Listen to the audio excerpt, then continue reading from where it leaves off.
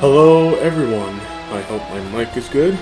Welcome to a very first series of... Oh great.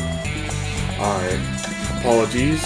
Um, my speaker, for some reason, has been um, echoing a little bit, so I just... So I turn off the speaker, I hope everything is all good and all that stuff. So yeah, um, as I was saying, welcome to a first series of Ty the Tasmanian Tiger. Now, I know what I'm thinking. I already did the series. well, alright, let's, uh, let's continue this. So, yes, I did actually complete the series of Ty, but this is the sequel of the Tasmanian Tiger Bush Rescue. This is different. This is the first game that comes out Ty the Tasmanian Tiger 1. So, in this particular playthrough, I'm going to be doing something, something a little bit different. Yes, for those of you who are going to say, I'm going to be accomplishing hardcore mode. In, I might be, there is a chance in the future I will be doing hardcore mode on the second game. It might be on live, but we'll see how it is. But the first game is just way too easy for normal difficulty. So I'm going to go straight up hardcore mode on this one. So for those of you who don't know what hardcore mode is, is that you have at least one life left. If you lose that, then your entire progression is already restart. That means you're going to have to start everything from fresh again. So I'm going to do this on hardcore mode. Hopefully I don't die. so, yeah. Um, I'm not going to be wasting too much time on this. And yes, I actually did complete both of them on this game. So, we're going to be going to game two, actually, finishing up hardcore mode. If I fail this one, then I might have to come back. But we'll see how it is. But in any case, let's dive into this what this game has in store for us. By the way, before I actually enter in, if you enjoyed this series so far, make sure you like, comment, and subscribe for more stuff like this. With all that said, let's begin.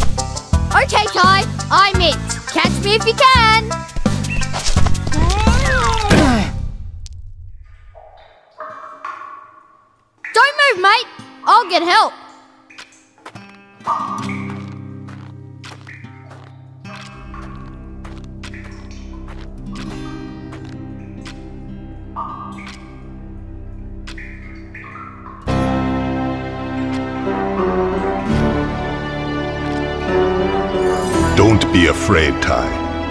I am Nandu Gili, the Bunyip Elder. G'day, mate. It's time you knew the truth. Years ago, a great battle was fought over the fate of five mystic talismans.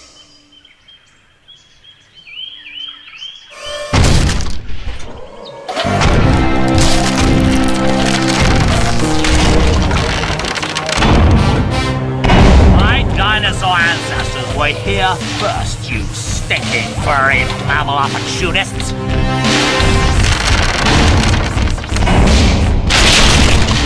Remember the comet!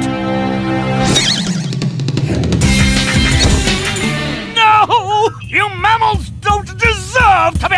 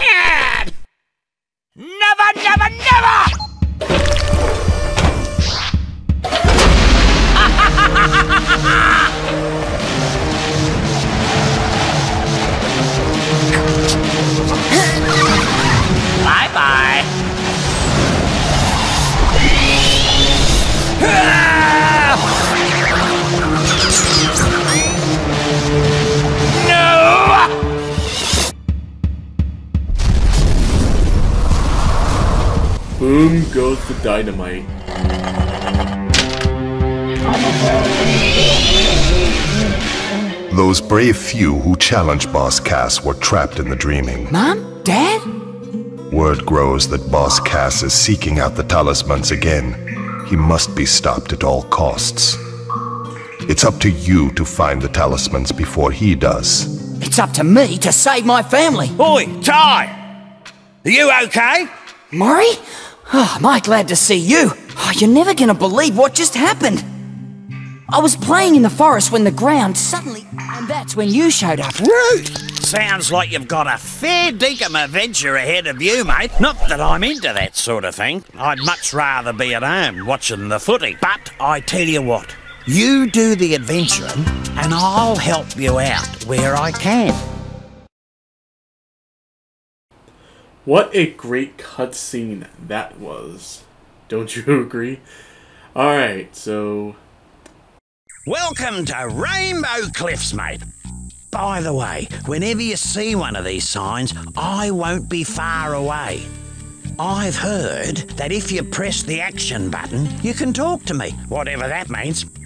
Okay, now let's get down to brass tacks. If you're gonna be out adventuring, then you'll need another boomerang. And I know just the place to find one. Head down to Bli Bli Station. I'll meet you there.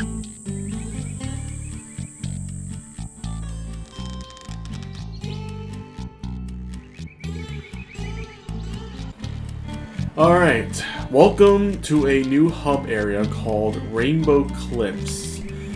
This is a new hub area that was introduced by the first Ty game. So, yes, unlike Ty 2, you start off with one boomerang.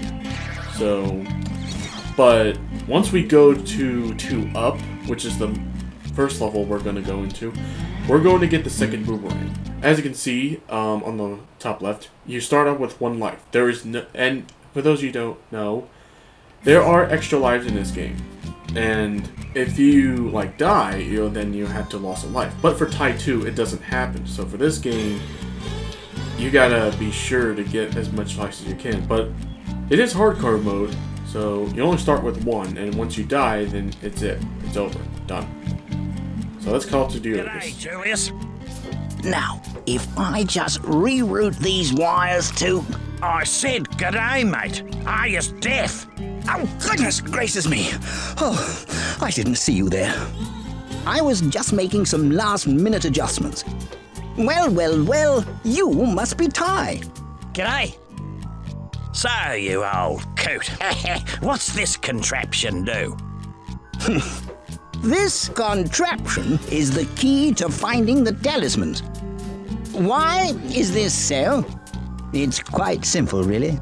It uses an oscillatory microfeeder to scan for trace energy signals that match the unique power matrix of the talismans. Huh? Mm, like a big nose that sniffs them out. Oh. Ah. And thunder eggs are the key to powering the machine. Thunder eggs. Oh, they're as rare as hen's teeth, mate. Couldn't you just use batteries? If only it was that easy. You see, this machine doesn't just find where the talismans are, it actually teleports them here. Struck me lucky. And that, my friends, requires a great deal of energy. So, uh, how is Ty here gonna find all these thunder eggs? Hey, I was just wondering that myself. A reasonable question. I've created these portals to lead Ty to areas rich with them. Of course, they won't just be lying all over the place. Just our luck. A lot of them will have already been found. The trick will be convincing the locals to part with their prized possessions. But I'm afraid I can't help you with that. If you're as resourceful as they say, Ty, I'm sure you'll think of something. Righto, Ty. There's no point in mucking about. You've got to find a second boomerang. I'll see you in two up. Alright, so yeah, those are the collectibles of the main game of the Thunder Age. So I'm not going to be wasting too much time because we're going to be going for two up, which is the first level we're going to enter into. So let's jump right into it. This billabong has got the lot. Gum trees, wallabies, and even a koala. There's plenty to do here, so let's get a move on.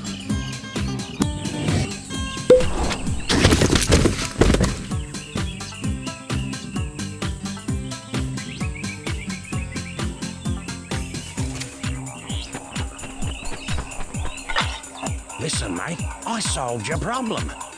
I found you a second boomerang. That's great. Where is it? See that tree over there? Yeah? Well, it's not there. Right. Well, where is it? It's on top of Frillneck Peak. Oh, great.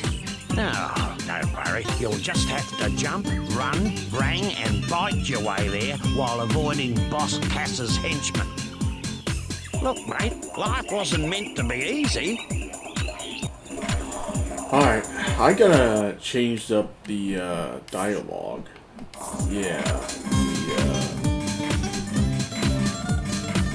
Let's turn down the music a little bit.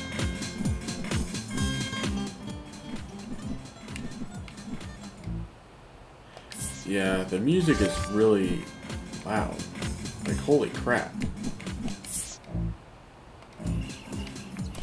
I hope that's better. Yeah, so those things are opals. And just like Ty 2, um, there are 300 in each area. Um, I'm going to explain that for a little bit, but yeah, let's grab that Thunder Egg, and it shouldn't be that difficult to get. Beauty! Butler! Bonza! I got one! Yeah, yeah, yeah. One down, 71 to go. Come on, let's get a move on. Yes, so there is, in total, is 72 opals. I reckon those dunnies are a Oh, complete wait, not opals, Thunder. Eggs. Jesus Christ. Only last week I used one, walked two blocks, was clobbered by a frill, and then woke up back on the dunny, which was the best place to be given the surprise I got. Julius reckons it's got something to do with the space time conundrum. But if you ask me, I think it's a load of bull dust. So, you're saying that if I have an accident, I'll end up back at one of these? Something like that. But in hardcore mode, you can't do that. Otherwise, you lost. Alright, so I think I lost a couple of boxes over there, so... Did I? Just want to make sure, because there are some situations that I need to backtrack everything. Um, Alright, something. As expected. Alright, so yeah. You can see that there's boxes over there to free to open up as well. Time! You've got a fair set of choppers on you. I reckon you could put them to good use by pressing the bite button. Get it? It's choppers, bite button. Never mind, Ty, move on. Have a go at those crates. I forget, is it Y? You can bite No, enemies and it's other Y. things by pressing Okay. the bite. Alright. So it's Y. Yeah, you could bite on this game as well. City, it's pretty self-explanatory. Um, Now, I was speaking to a bloke down the local watering hole, and he reckons you can use your rangs to take care of enemies and smash things. Shoe Ripper! He said something now, wait a minute. He said something about pressing the throw button to use them. Alright, so A is throw your rings. So yeah, I think, um, if I'm correct, you'll get like a full pie for each level. It's pretty convenient, as considering that you'll run into a bunch of enemies later on in game, but 2 up is basically like a somewhat tutorial slash opening level, but yeah. Oh yeah, um, I'm gonna explain that in a little bit, but let's go over here. Oh no, not more cages. Struth! What happened here? Boss Cass did this. He's caged all your Bilby mates and hidden them across the land. Oh, yeah? Well, big mistake. No one messes with my mates. Now there's a thunder egg in each area if you free them. No worries. Unless you're Boss Cass. That's kind of sus. Alright. So, yeah, the Frill Lizards can give, in Ty 2, Frill Lizards can give you Opal, but in this game, that's not the case. So yeah. The things that I collected, you remember the Platinum Cogs in Ty 2? Well, in Ty 1, um, there's this thing called Golden Cogs, which they are actually from the, in Ty 1. Um, you could actually get a bunch of upgraded rings. You'll get to see them in a later um, episodes, but yeah. So moving on.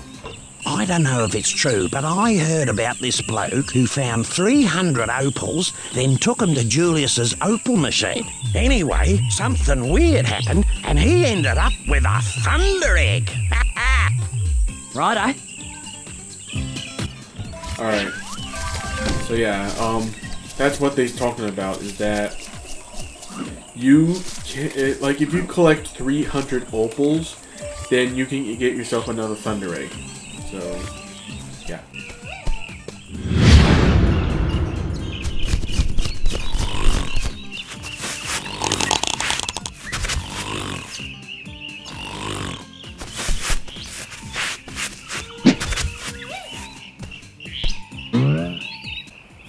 the point of this cutscene? I don't understand. I guess it's a sign that it's, uh...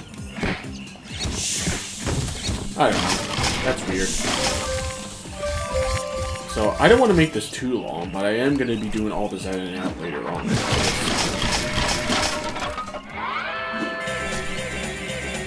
Yeah, those are the spy eggs that you see from Ty 2. Um, now, I'm not going to explain all of it at once. I'm just going to enjoy this. I really enjoyed this, though.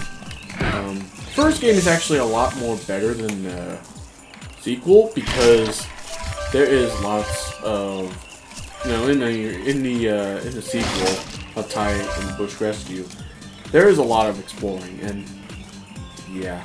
Oh yeah, as you can see, if you collect 100 rings, you'll have this um, special bite ability. I'm going to show you guys what it does. So, um, it's Y, right? So,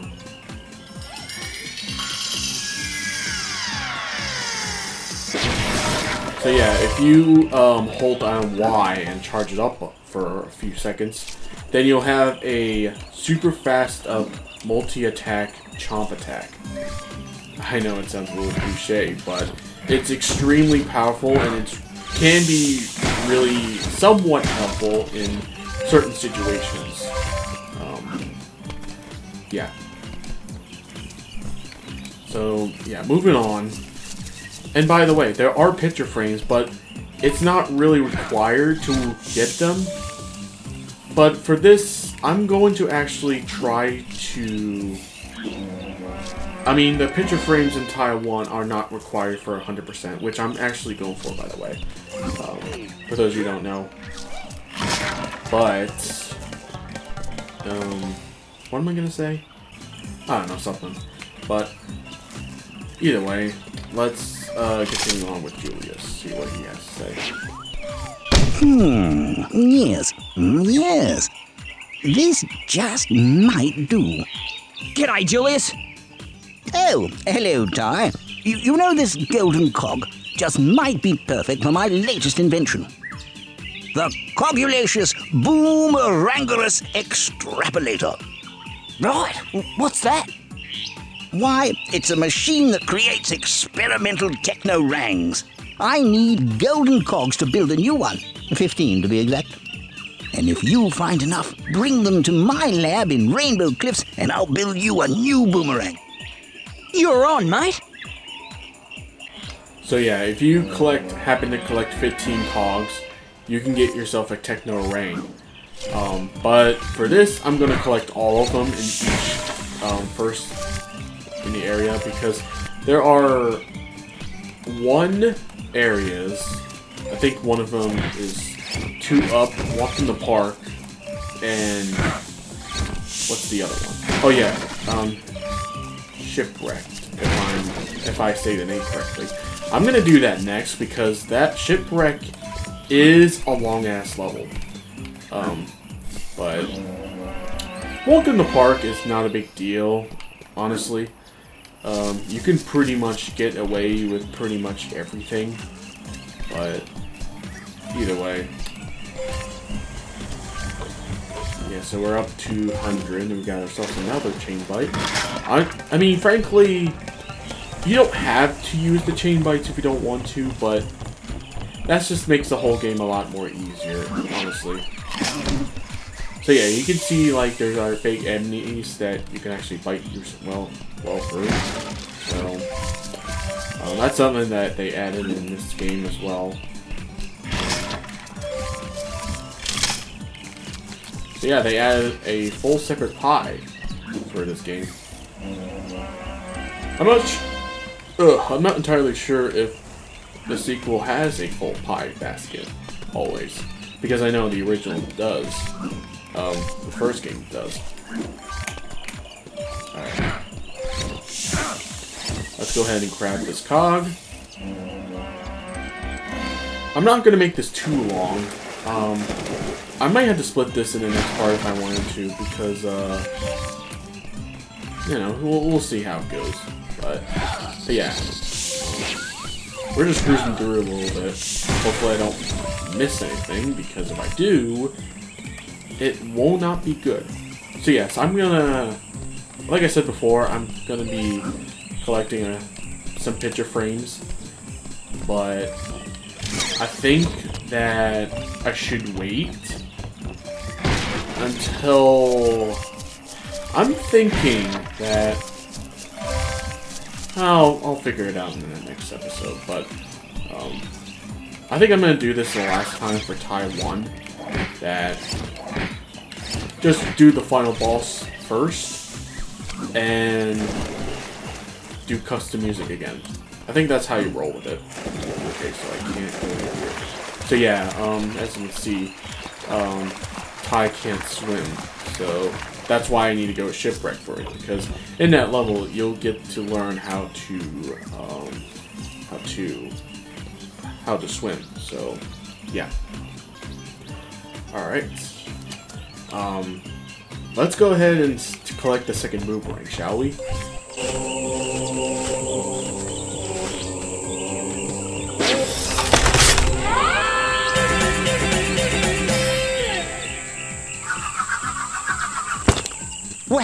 I wouldn't have believed it if I didn't see it with my own eyes. you actually found the second boomerang. Well, there's no time to sit around and feel all pleased with yourself. You're gonna have to put that new ring to use. You see, I had a thunder egg I was gonna give you, but a bunch of frills stole it. You'll have to take them all on to get it back. Alright, so we got ourselves two boomerangs. So that's going to be really helpful for our adventures, you know. Pretty much self-explanatory. Got a, uh... Oh, there's a pie right here. What? Huh, that's weird. I was not expecting that. Man, this is taking a while to get up there. Let's go ahead and grab that cog before we take down these grills. So yeah, there's 10 in each level for these cogs. And if I remember, I think there's 8 in each area. Simple as done. Too easy, honestly. Um, oh yeah, there's also another area I need to go to. I might have to save that to the next episode, honestly. And yeah, so um, I don't think there's anything else. Alright. Go ahead and make our way through to the top. Well, it looks like today wasn't a complete waste of time. you seem to have learned a thing or two. Sure, yeah, you're too right. Ah, you know, there's one other thing I could show you, but uh, I don't know if you're ready for it yet. Yeah? Well, what's that? Well, a mate of mine who knows a mate who knows a mate who knows another mate says you can use two boomerangs to glide long distances. How? It's simple, really. You jump, then press and hold jump again to start gliding. Right. Is that safe? Safe as houses, mate. See if you can glide across this gap to reach that thunder egg. Here we go. Shoe Ripper! Ah, look at that. Me mate's mate, mate, mate was telling the truth after all. Just as well I didn't call for an ambulance. well, lad, you made it through with flying colours. And as a little extra bonus, a stopwatch will appear near the start. Okay. What's that for? The racetrack. You can race the clock to win another Thunder Egg. Right. I'll give that a go later. well, that's enough gas bagging from me. Let's head back to the Bli Bli station. Alright. With that, we're going to end this uh, um, end this episode here. Hope you guys enjoyed the series. Um, you do, make sure you like, comment, and subscribe. And with all that said, I'll see you all in part two. Peace.